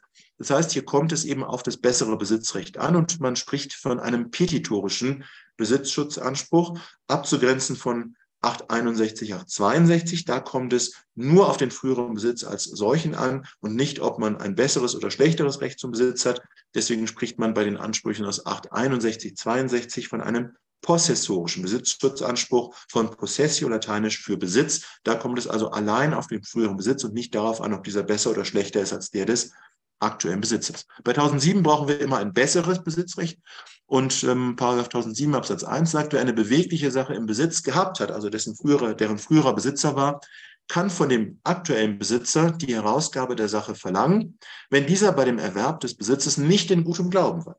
Ja, also der bösgläubig erlangte Besitz, der ist schlechter als der frühere Besitz des ähm, ehemaligen Besitzers und deswegen kann in dieser Konstellation die Herausgabe verlangt werden, wenn der Besitz bösgläubig erlangt worden ist. Ursprünglich war der S, der Anspruchsteller, Besitzer sowohl von Sattelzug als auch Fahrzeugbrief. Der äh, G, der Anspruchsgegner, ist jetziger Besitzer und der hat, wie wir gesehen haben, kein Recht zum Besitz. Und die entscheidende Frage ist nun, war der G beim Besitzerwerb bösgläubig? Die gute Bösgläubigkeit muss sich hier auf das fehlende Besitzrecht beziehen. Hier geht es ja gerade nicht um den Eigentumserwerb, sondern hier geht es um den bloßen Besitzerwerb und die Bös- oder Gutgläubigkeit muss sich dementsprechend auf das fehlende Besitzrecht beziehen. Maßstab für die Bösgutgläubigkeit ist wieder 932 Absatz 2 BGB. Das heißt also, es schadet die positive Kenntnis des fehlenden Besitzrechts und es schadet aber auch die grob fahrlässige Unkenntnis des fehlenden Besitzrechts. Ja, die Frage ist, haben wir auf Seiten des G zumindest eine grob fahrlässige Unkenntnis des fehlenden Besitzrechts? Wie gesagt, Maßstab ist 932, Kenntnis oder grob fahrlässige Unkenntnis des fehlenden Besitzrechts. Und ähm, hier in unserem Fall haben wir schon zu Frage 1 gesehen, dass ähm, es da doch viele, viele äh, Ungereimtheiten aus der Perspektive des G gab. Das begann also damit, dass ähm, das Telefax, das ihm übersandt worden ist mit der Rechnung, dass dort verschiedene Schreibfehler ähm, zu finden waren. Der Kaufpreis war auffallend niedrig. Der G ist Geschäftsmann und muss dementsprechend ähm, bei solchen Merkwürdigkeiten ähm, besonders viel Aufmerksamkeit der Sache schenken. Und wenn man das alles zusammennimmt, wird man wohl von grober Fahrlässigkeit des G in Bezug auf das in Wahrheit fehlende Besitzrecht des ähm, äh, U bei der Veräußerung oder bei der Übertragung des Besitzes, genauer gesagt, ausgehen müssen. Ja, also wir haben doch hier sehr viele Anhaltspunkte dafür, dass grobe Fahrlässigkeit auf Seiten des G gegeben ist. Das heißt, wir haben eine Bösgläubigkeit des G und wir haben schon gesehen, der G hat kein Recht zum Besitz. Da verweist der 1007 Absatz 1 Satz 2 auf die 986. Also daran sieht man, dass es eben auf das bessere Recht zum Besitz sozusagen ankommt. Wenn der jetzige Besitzer ein Recht zum Besitz hat, dann muss er nicht herausgeben. Ähm, hier aber kein Recht zum Besitz des G und aufgrund seiner Bösgläubigkeit muss er nach 1007 Absatz 1 ähm, ebenfalls herausgeben. Ja, also ein zweiter konkurrierender Herausgabeanspruch. Ja, wie schon erwähnt, 1000, Paragraph 1007 ist nicht eine einheitliche Anspruchsgrundlage, sondern wir haben im 1007 mehrere Anspruchsgrundlagen und eine weitere ist eben der 1007 Absatz 2, der ebenfalls hier in Betracht äh, kommt. Paragraph 1007 Absatz 2 sagt, ist die Sache dem früheren Besitzer gestohlen worden, verloren gegangen oder sonst abhanden gekommen. Ja, das bedeutet also unfreiwilliger Verlust des unmittelbaren Besitzes. So kann er die Herausgabe auch von einem gutgläubigen Besitzer verlangen, es sei denn, dass dieser Eigentümer der Sache ist oder die Sache ihm vor der Besitzzeit des früheren Besitzers abhanden gekommen war. Auch hier sehen Sie wieder, es kommt auf das bessere Besitzrecht an. Und ähm, ein besseres Besitzrecht hat ähm, der frühere Besitzer dann, wenn ihm die Sache abhanden gekommen ist. Das ist der Oberbegriff, also unfreiwilliger Besitzverlust. Ähm, es sei denn, dass ähm, der andere, der jetzige Besitzer Eigentümer ist oder ihm selbst die Sache früher abhanden gekommen ist. Hier kommt es also auf das Abhandenkommen ganz zentral an. Ähm, also wir haben hier wieder ähm, einen früheren Besitz des S als Anspruchsteller, wir haben einen jetzigen Besitz, einen aktuellen Besitz des G als Anspruchsgegner. Die entscheidende Frage ist, haben wir auf Seiten des früheren Besitzers S ein Abhandenkommen? Das bedeutet, 935 Absatz 1 BGB, der unfreiwillige Verlust des unmittelbaren Besitzes. Der ähm, S hat allerdings hier die Fahrzeugschlüssel ähm, dem U ausgehändigt. Das allein ähm, kann man allerdings nicht als Besitzverlust ansehen, sondern das Ganze sollte ja Besichtigungszwecken dienen. Der S ging davon aus, dass das nur für Zwecke der Besichtigung war. Das heißt also, wir haben hier keinen vollständigen, keine vollständige Aufgabe des Besitzes an dem Sattelzug und dem Zubehör. Ähm, und den Fahrzeugbrief, den hat der U sich eigenmächtig verschafft, weil er dort auf dem Tisch lag. Das heißt also, ähm, wir haben hier keinen freiwilligen Besitzverlust, sondern einen unfreiwilligen Besitzverlust, auch wenn auf den ersten Blick hier eine Aushändigung stattgefunden hat. Die diente aber, wie gesagt, nach der eindeutigen Abrede zwischen den Beteiligten ähm, nur der Besichtigung und nicht ähm, der Mitnahme des Sattelzuges, also ähm, kein freiwilliger, sondern ein unfreiwilliger Besitzverlust. Man konnte hier noch ähm, erwägen, ob man gewissermaßen die freiwillige Besitzaufgabe durch den U gegenüber dem G. Der U hat ja alles dann tatsächlich freiwillig dem G ausgehändigt. Ob man das möglicherweise dem S zurechnen lassen muss, in entsprechender Anwendung der Grundsätze bei Gewahrsamsaufgabe durch einen Besitzdiener. Wenn ein Besitzdiener die, äh, den Gewahrsam aufgibt, dann muss sich der Besitzherr das zurechnen lassen. Dann haben wir also einen freiwilligen Besitzverlust. Hm, hier in unserem Fall ähm, das aber nur, wenn der Besitzdiener tatsächlich als unmittelbarer Besitzer erscheint und wir auch äh, Gutgläubigkeit auf Seiten des Besitzerwerbers haben.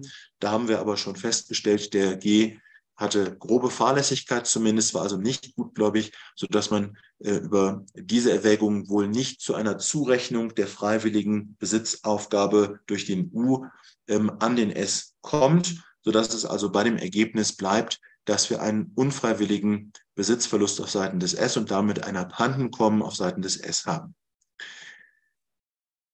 Damit ähm, also auch aus 1007 Absatz 2 Satz 1 ein Herausgabeanspruch, ein weiterer Herausgabeanspruch.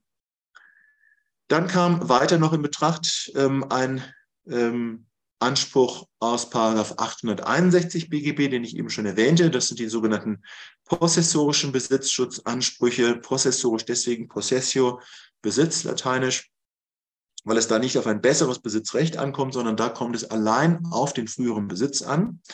Insofern also hat der 861 weniger hohe Anforderungen als der Paragraph 1007. Auch an 861 war hier zu denken, Paragraph 861 im BGB, ein Herausgabeanspruch des früheren Besitzers. 861 BGB sagt, wird der Besitz durch verbotene Eigenmacht dem Besitzer entzogen, so kann dieser die Wiedereinräumung des Besitzes von demjenigen verlangen, welcher ihm gegenüber fehlerhaft besitzt. Dieser letzte Teil, der wird häufig übersehen. Also allein, dass ähm, der Besitzverlust durch verbotene Eigenmacht reicht nicht aus, um den Anspruch aus 861 zu begründen, sondern es muss hinzukommen, dass gerade der Anspruchsgegner fehlerhaft gegenüber dem früheren Besitzer besitzt. Der 861 spricht von verbotener Eigenmacht, von fehlerhaftem Besitz. Für beides finden Sie eine Legaldefinition in dem 858 BGB. 858 Absatz 1. Wer den Besitzer ohne dessen Willen den Besitz entzieht, oder ihn im Besitz stört, handelt, sofern nicht das Gesetz die Entziehung oder Störung gestattet, widerrechtlich in Klammern verbotene Eigenmacht. Die Besitzentziehung also ohne Willen des Besitzers ist verbotene Eigenmacht, es sei denn, wir haben irgendeinen Rechtfertigungstatbestand. Und 858 Absatz 2 regelt den fehlerhaften Besitz, auf den es ja in 861 auch ankommt, der durch verbotene Eigenmacht unmittelbar erlangte Besitz ist fehlerhaft, also fehlerhaft Besitz jedenfalls der, der selbst verbotene Eigenmacht geübt hat.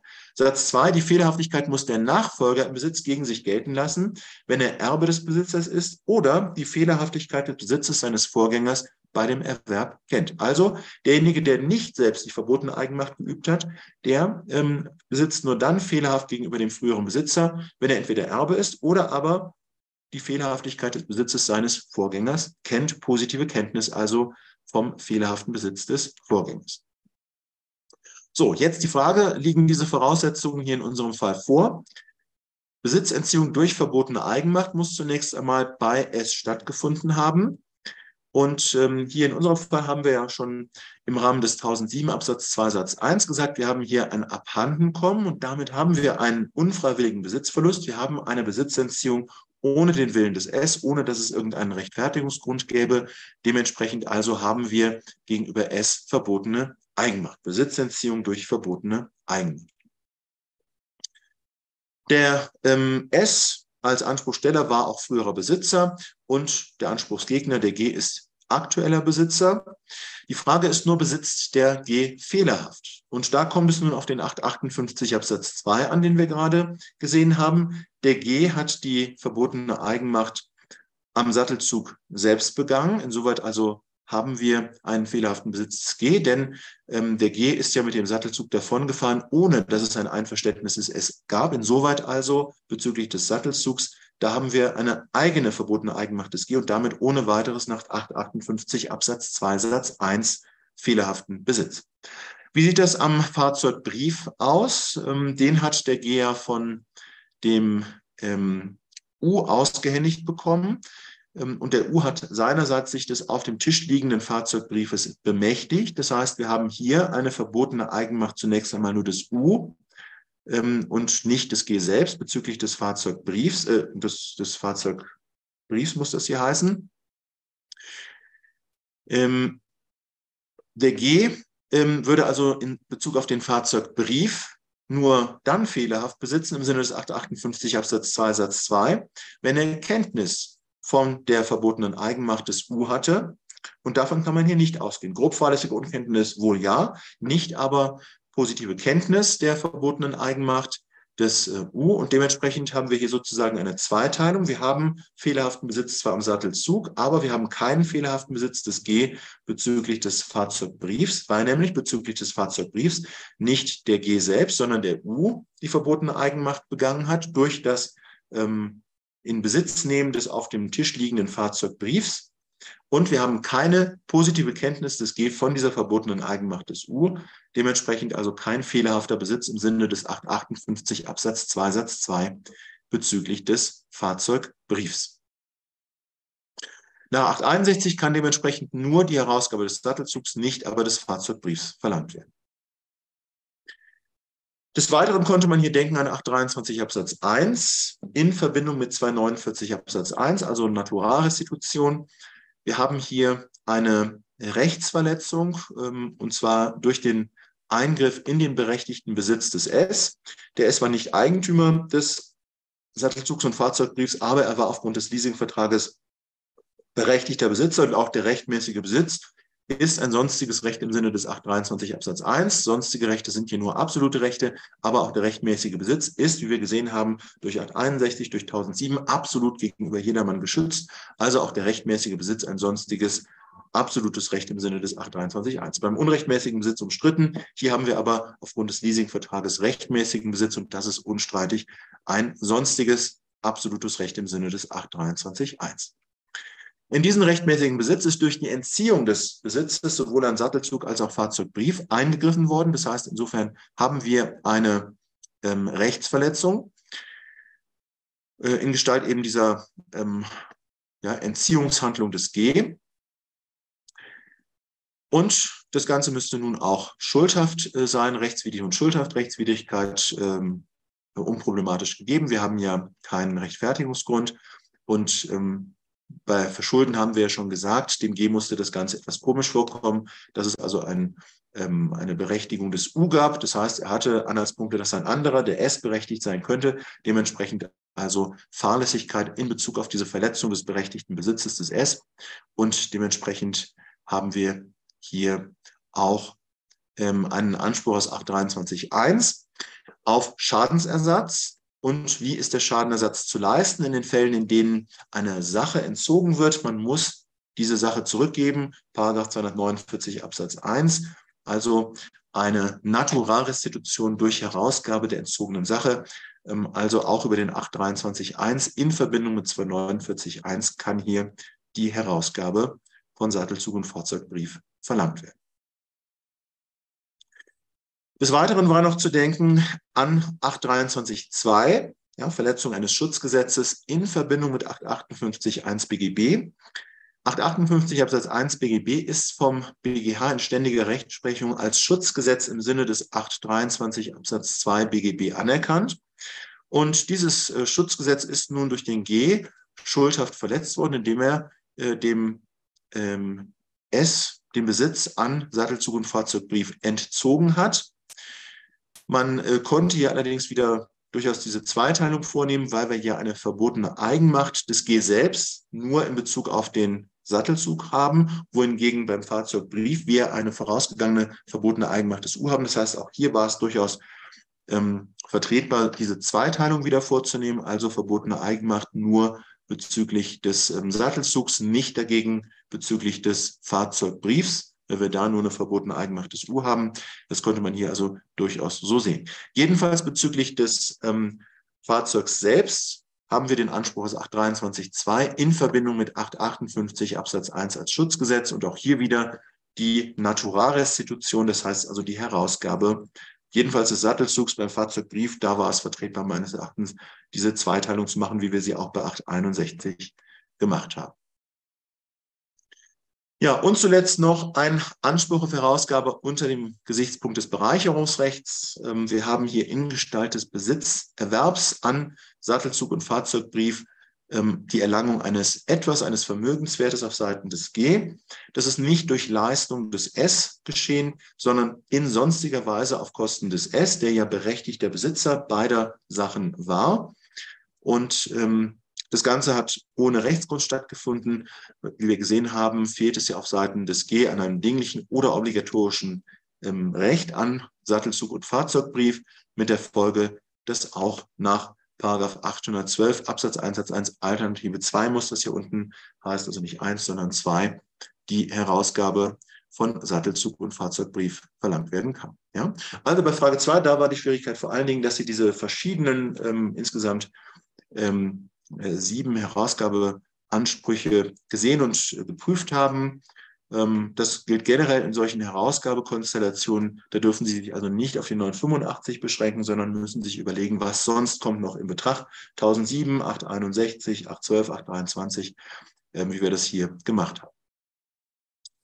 Ja, wie bereits gesagt, dieser Sachverhalt ist nachgebildet dem Originalsachverhalt einer Entscheidung des ORG Hamm äh, zu finden hier unter dieser Fundstelle in Back Online. Darüber hinaus ähm, finden Sie in der JA, das äh, werde ich Ihnen auch über ähm, Frau Mommsen dann zukommen lassen, ähm, einen Beitrag von mir, also eine Klausurlösung von mir in der JA. Sie bekommen aber natürlich diese Folien, Sie bekommen die Lösungshinweise und die ähm, handelsrechtlichen Aspekte, die wir besprochen haben, können Sie in meinem Lehrbuch zum Handelsrecht, das natürlich im Seminar verfügbar ist, äh, noch einmal nachlesen. Ja, gibt es von Ihrer Seite noch Fragen?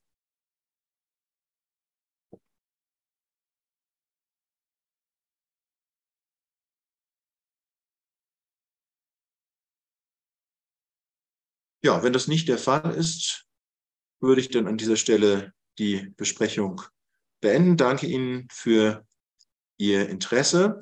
Wünsche Ihnen jetzt weiter viel Erfolg bei der Examensvorbereitung und dann natürlich auch beim Examen und darf mich dann an dieser Stelle von Ihnen verabschieden. Alles Gute, bis zum nächsten Mal.